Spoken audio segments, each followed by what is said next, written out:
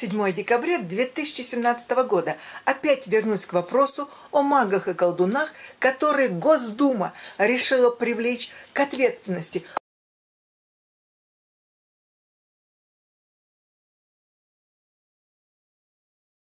Вопрос не такой уж простой и легкий. На самом деле это глубокий вопрос. И я вам хочу сказать, что все поголовно депутаты Госдумы обращаются к колдунам и магам. Но все, вы понимаете, там по коридорам бегают эти маги-гадалки, которые им оказывают услуги. Но это такие простенькие депутаты. Но типа вот этого Вострецова, который внес на голосование или собирается вносить только вопрос о мошеннических действиях колдунах. Но как он будет определять эти самые мошеннические действия? По заявлениям в ментовку, что ли? Ну так это же смешно как на мага можно подать в ментовку, а не боится он получить обратку. Нет, конечно, если он уверен, что его маг – это мошенник, ну тогда, может быть, просто не впускать к себе в кабинет. Или они тебя уже обманули, и ты решил сделать вот такой вот, вот такой себе закон, которым ты будешь защищаться от тех самых колдунов и магов. Но, кстати, я по поводу того, что там бегают колдуны и маги у них в Госдуме. А некоторые депутаты, так скажем, с более солидным карманом, с большим карманом, которые, ну, очень давно сидят в Госдуме, и поэтому их эм, нули на счетах, я не знаю, сколькими, сколькими а, нулями или сколько очередей в этих нулях наблюдается. Так вот, один из депутатов – а, который живет в Женеве. Он работает в Госдуме, конечно, но живет в Женеве. И он купил себе площадку на горе Салев и открыл там буддийский монастырь. И вот там-то у него, наверное, настоящие магии колдуны. Он их кормит. Целый буддийский отряд, целый монастырь он кормит на горе Салев. Кто бывает в Женеве, поезжайте, поднимитесь на, в кабинке на эту гору Салев и увидите тот самый монастырь. Там тоже, конечно, оказывают услуги, но как их считать? Когда вот такой вот буддийский монах тебе расскажет, раскачиваясь э, о твоем будущем двумя-тремя словами ни о чем.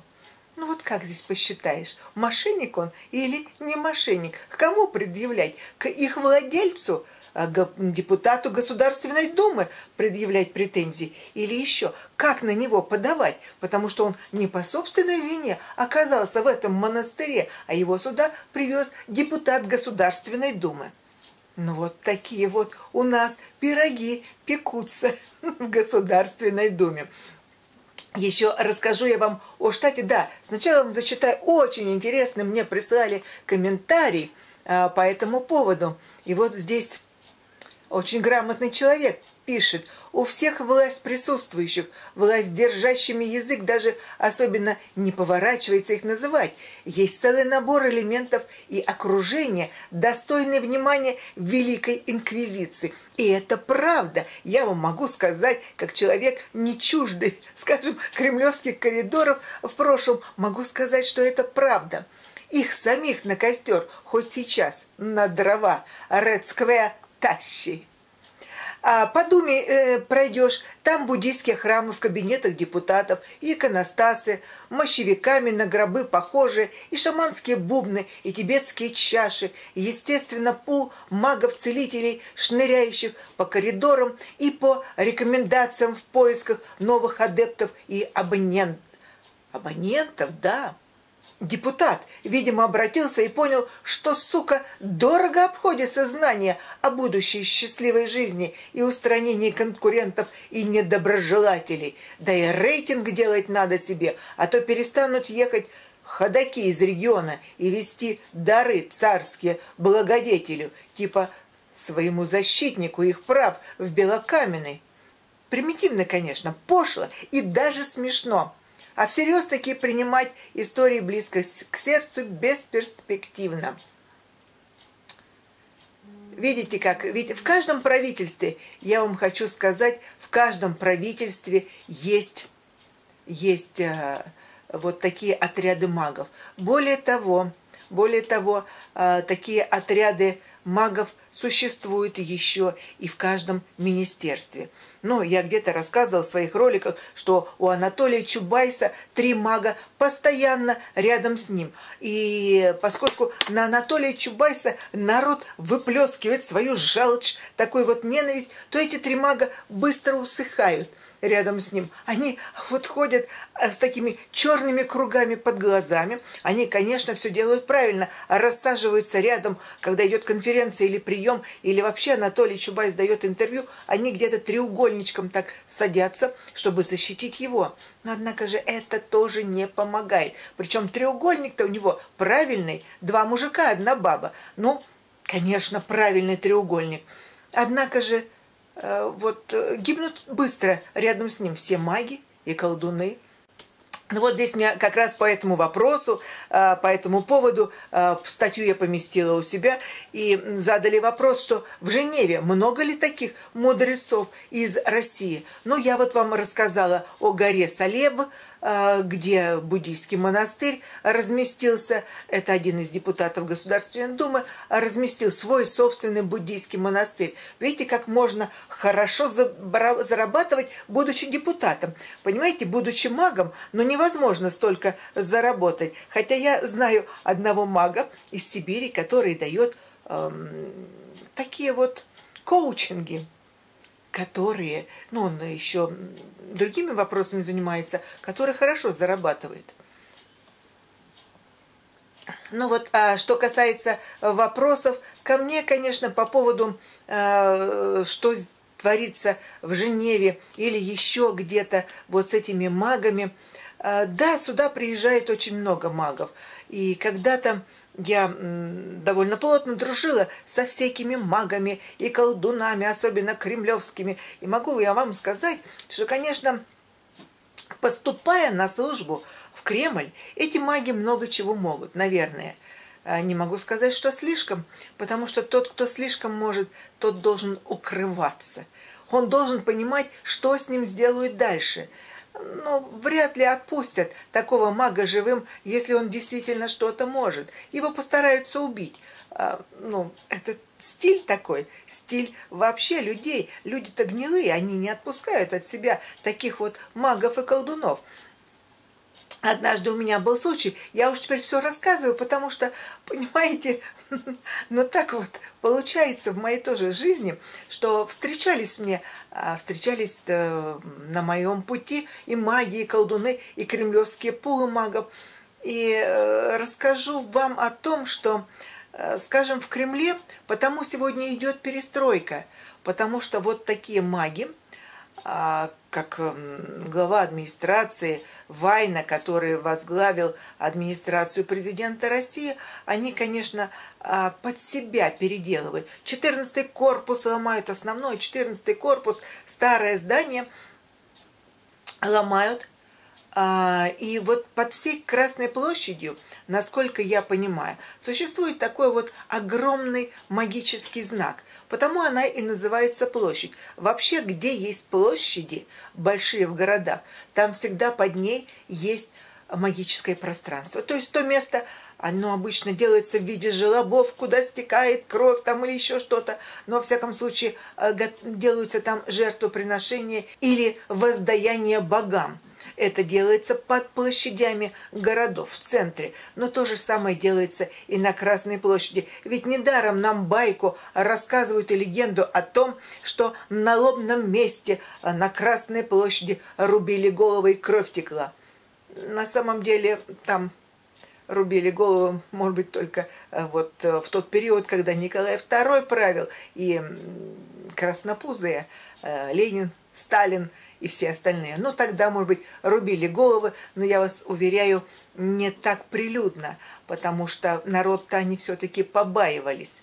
Э, это рубится, но неприлюдно.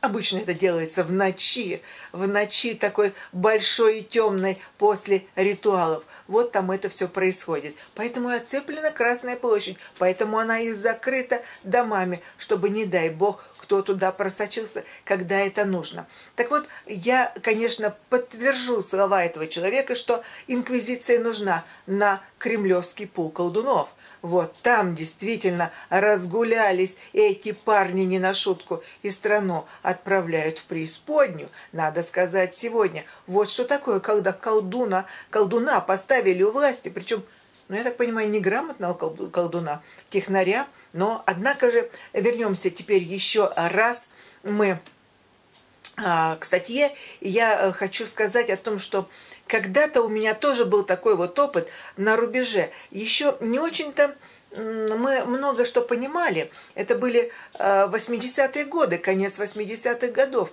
И к нам в Женеву приехал Алексий, который потом стал патриархом, и Кирилл, который сейчас патриарх всея Руси.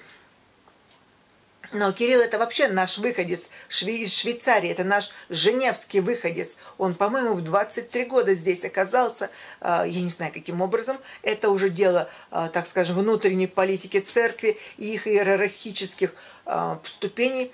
Кстати, я, наверное, не... Я, наверное, не совру и не скажу вам большой новости, что все эти вот иерархии наши, они все имеют погоны ну, несомненно. А иначе он не нужен там. Он обязан подчиняться вот общей службе э, ГРУ, ну, и как бы и органы, которые над ним, то есть военной разведки. Им подчиняются все вообще. И вот однажды они приехали вдвоем. Э, мы с Тамарой ходим парой. Алексей с Кириллом приезжают э, в чине еще митрополичьем, обличьем. Они приехали в Женеву, и был у нас прием большой один – а, вот. Потом был через некоторое время, а, это был большой прием, он был в экуменистическом центре, во Всемирном совете церквей, и тогда же я общалась с митрополитом Дамаскиносом, который возглавлял этот всемирный церковный орган – Эм, хороший дядька грек был такой, интересный, но у каждого свои тараканы, у каждого свои секреты, а со мной люди любят делиться секретами. Он уже умер, поэтому э, в любом случае не буду я делиться его секретами. Но однако же э, расскажу о другом о том, что когда приехали вот эти мы с Тамарой ходим парой, два друга, Кирилл и эм, Алексей, они тогда дружили и были в ранге майоров. Алексей был точно, но про Кирилла тогда не могу сказать, а он так немножко вроде как поменьше был а, Алексей на тот момент. Это Алексей еще не был патриархом. Так вот, а, некая спецслужба, которая работала у нас в советской миссии, решила устроить мне не знаю что.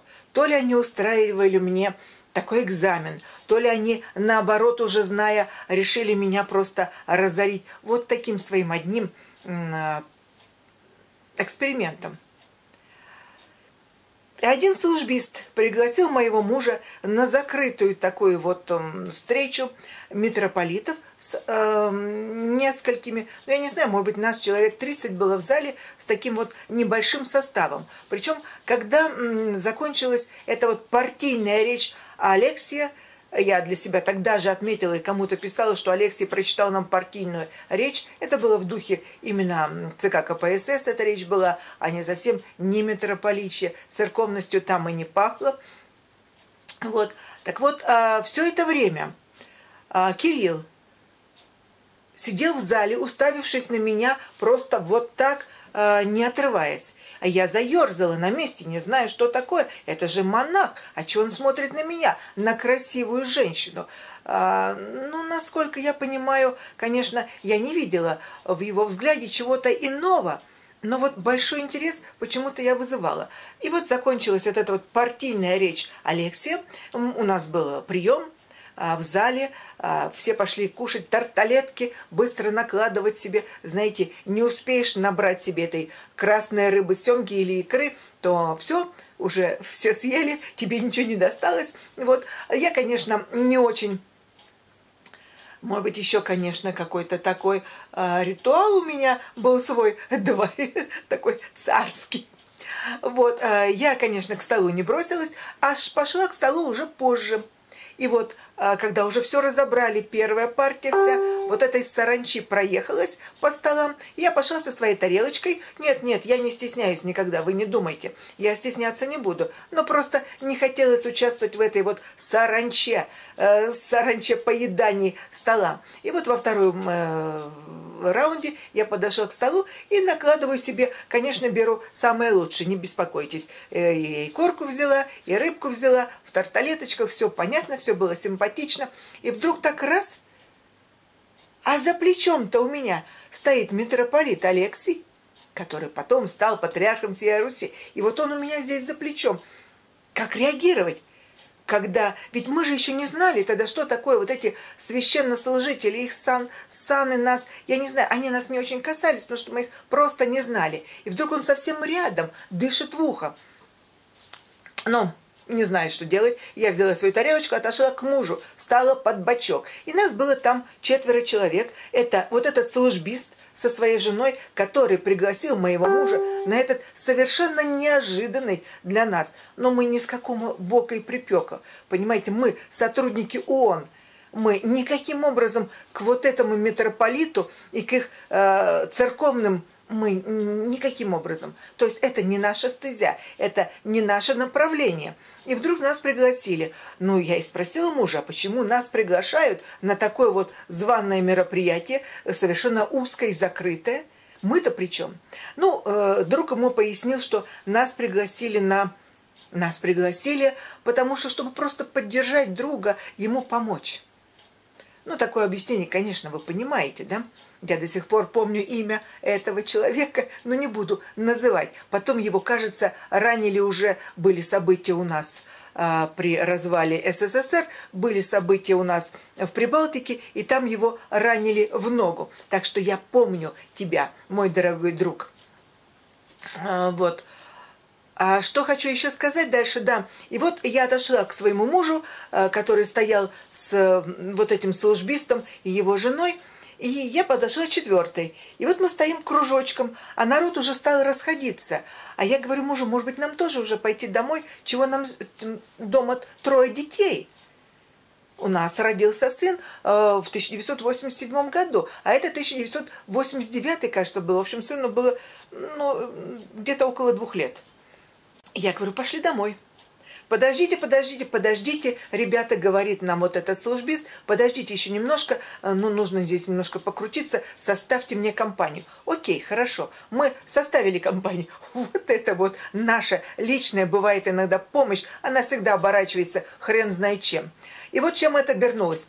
Подходит к нашему кругу а, тот самый митрополит Алексий, а Кирилл стоит сзади.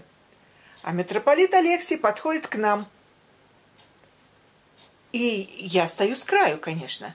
Я же подошла, и у нас четверо, вот, со своей тарелочкой. Ну, тарелочку я уже съела и поставила. Вот, и в это время Алексей подходит и за руку здоровается. Вот он подошел за руку с каждым из нас, нас четверо. И каждому из нас дал руку, и с каждым из нас поздоровался.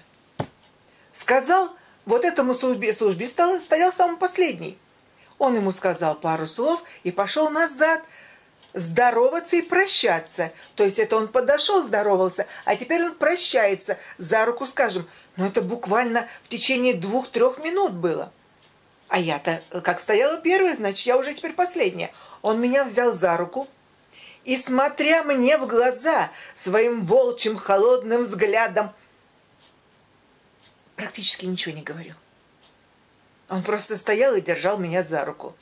И настолько долго, что я, понимаете, когда, вот вы посмотрите, когда с Трампом здороваются, люди пытаются отодрать свою руку, так и я попыталась так робко-робко попыталась, но, ребята, я еще молодая. Вы понимаете, это сейчас мне так легко рассуждать со своих мудрых э, лет пьедестала, да? Но тогда мне было сложно. Это же еще только начало. Мы даже не знали, кто такие священники. Мы же атеисты. А здесь миссия нам, наша советская партийная миссия, нам активно пропагандирует и для поддержания дает этих священников. И, конечно, я так, ну, а так как вот все-таки, понимаете, это что-то неизвестное, и зачем я буду чувствовать врага? У меня было в жизни все хорошо, у меня трое детей было на тот момент, и все замечательно. И я, конечно, с радостью ну вот и стоим, и стоим, и стоим, и стоим, а он держит и держит меня за руку. Ну так, в общем-то, я смотрю, народ-то стоит. Вот этот вот мой муж, стоит дальше жена этого человека, а дальше стоит этот самый службист. И все стоят совершенно спокойно. Знаете, как в таком вот тайном обществе, ордене э, выбрали себе жертву. Ну, так примерно и я. Стою а, с э, вот этим будущим патриархом сия Руси за руку очень долго простояли. Я не могла понять. Я просто выключилась. Я, смотря в его глаза, он э, обладал гипнозом. А я смотрела в его глаза, в эти холодные волчьи глаза, и он обладал гипнозом. Это я поняла. Так как мы были последние, все, он попрощался и ушел этот э, патриарх Алексий или митрополит Алексий, вот, он попрощался и ушел. И тут я ничего не подозреваю, мы тут же собрались, уже оглянулась, а зал-то пустой. Там, где он нашел прием, это небольшой прием в советской миссии был э, зал, и пустой зал. Мы остались одни.